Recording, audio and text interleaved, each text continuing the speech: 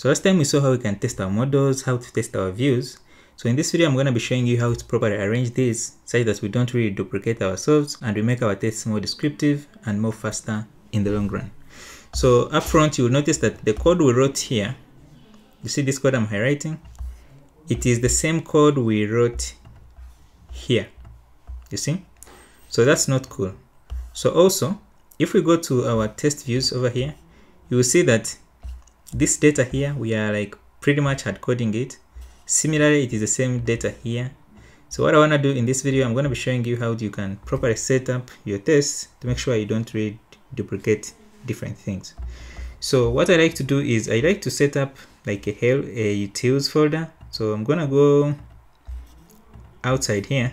Then I'm going to set up a utils folder. So going to be utils. So since you're going to be importing from it, we need it under init. So under init over there. So also you notice that over here we are importing from test case.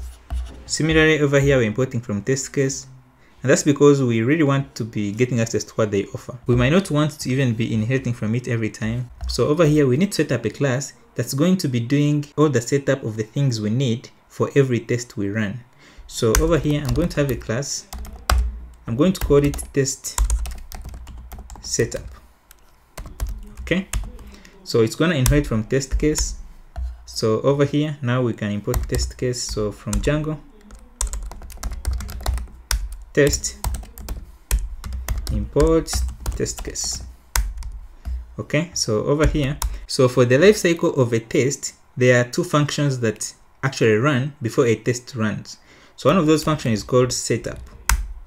And also another one is called tear down so i'm going to have tests tear down okay?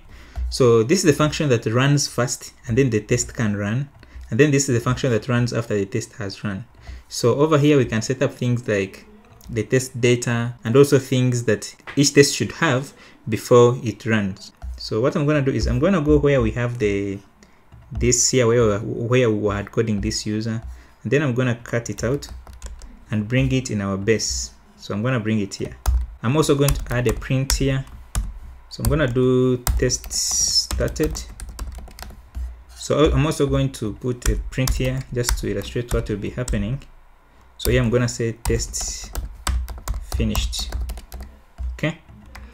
So now that we have this, we can come over here in this test views. Remember we removed the, the user here. So we can come back over here and instead of us inheriting from this test, we can inherit from our own so here i'm gonna in i'm going to import our util.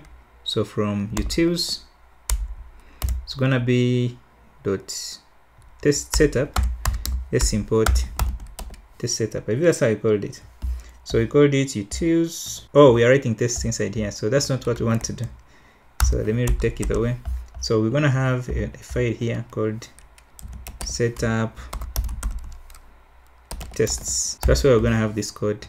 Now we can now it's gonna be util slash test setup test import test no not test case import test setup.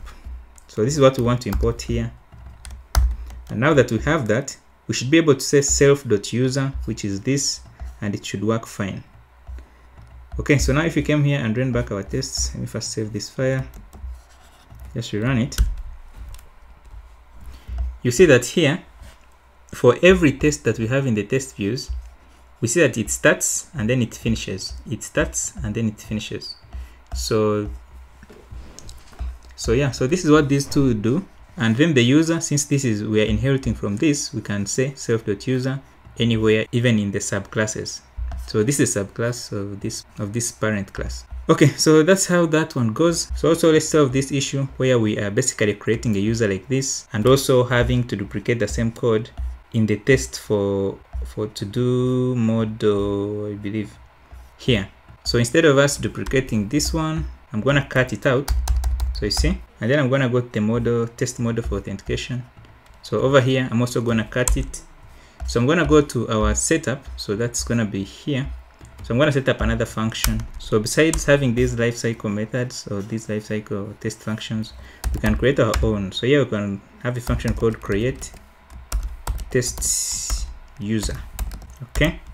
So create test user text in self so over here now we can basically create a user. So since we want to use what this user will be returning we can return that user. We can do return user. And i'm going to import user up here because we need the user authentication.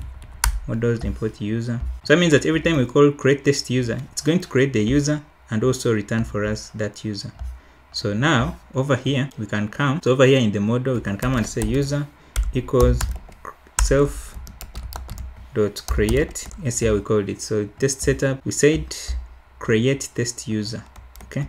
So this is what we want to call. So in this model we can come and say self dot create test user like this. So that should return for us the user and we can use the user here. So i'm also going to go to this other class. So this other test here and also do the same thing. So we can do user equals self dot create self dot create test user like this. Okay so now that we have changed this we need to change where we are importing from. So i'm gonna go to this import for the view and then i'm gonna replace it. So I'm gonna import this test setup. It's gonna be here. So we can report replace this. So this this inherits from test case by default. That's now that's now what we want to inherit from.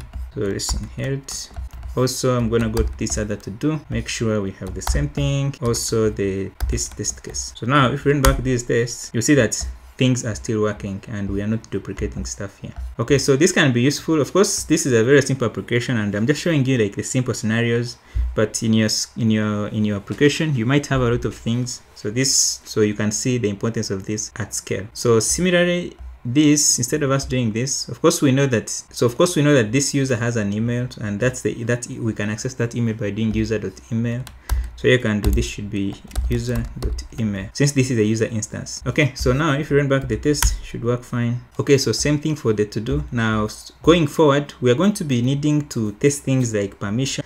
Let's say a user is logged in and they want to delete a to do we want to check if they are the ones that created it. So i'm also going to have another another function to create another test user.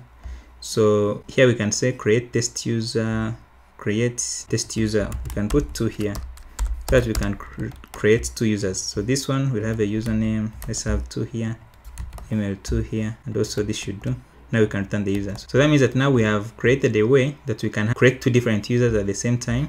So that's going to work in a way that we can be able to say user one equals self dot create test user and then here we say user two equals self dot create test user two like this.